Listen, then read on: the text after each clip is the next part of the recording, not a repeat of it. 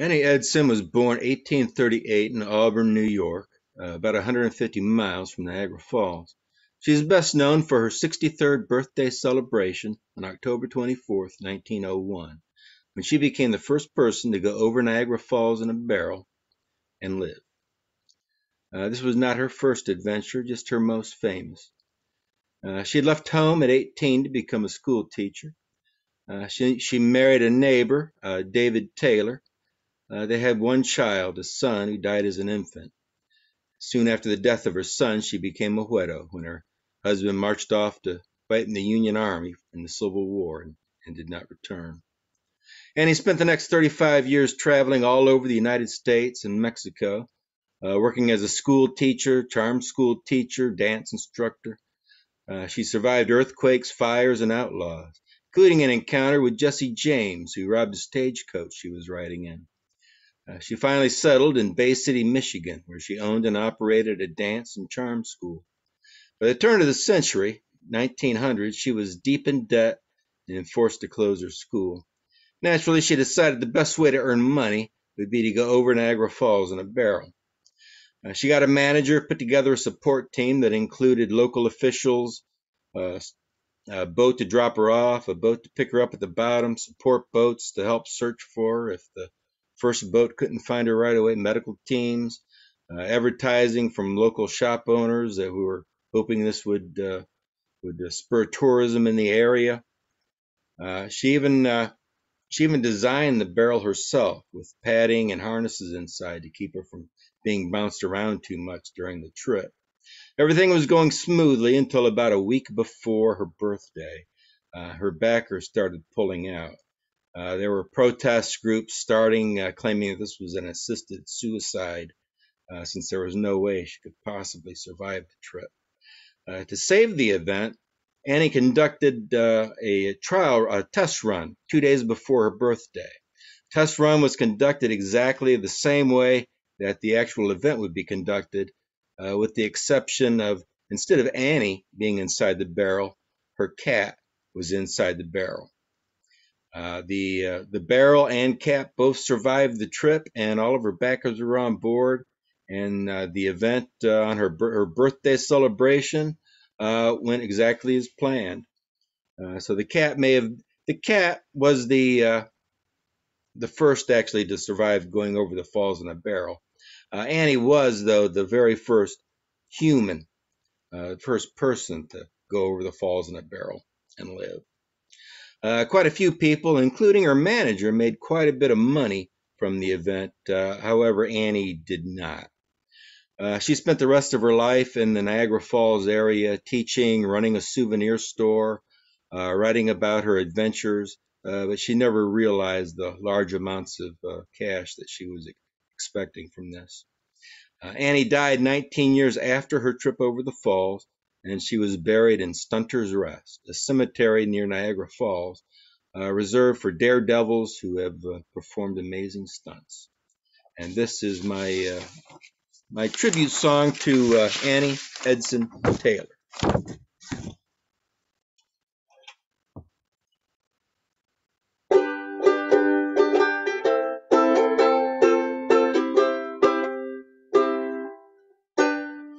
Annie Edson Taylor had a birthday celebration. At 63 years young adventure called.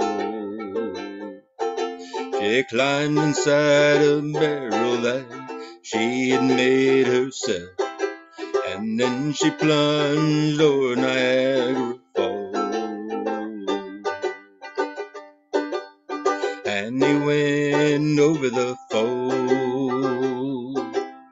She was not the first to go over the falls,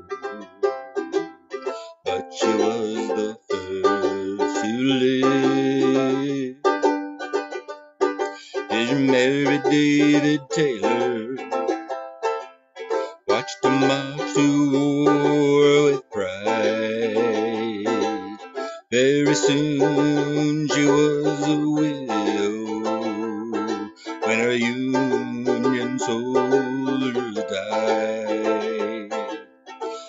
and he went over the fold.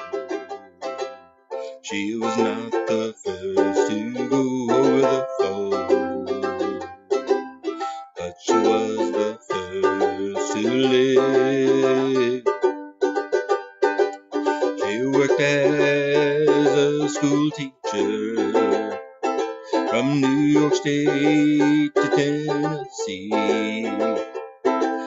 She settled down in Michigan, taught dance in Bay City. And he went over the fold. She was not the first to go over the fold, but she was the first to live. Outlaw Jesse James once tried to rob her. He said, Give me your money or you're dead. She told him that he'd never get her money. He'd just have to murder her instead. But he didn't. And his cat went over the fold. He credit cause it was just a test run. The cat was fine though he did have quite a ride. And he survived the fall from the fold. And was crowned the queen of the mid. Besides her cat, she was the only one to survive a trip the fold. She was not the first to go over the fold, but she was the first to live. She went over the falls in a barrel, but it wasn't a barrel of fun. She hoped she would make lots of money, for all of her trouble she got none. And he went over the fold.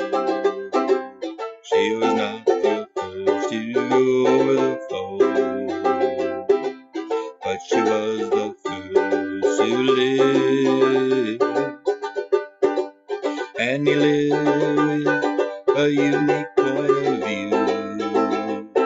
and died at the age of 82. She ended up at Stunter's Rest, buried with the very best. And he went over the fold. She was not the first to go over the fold, but she was the first to live.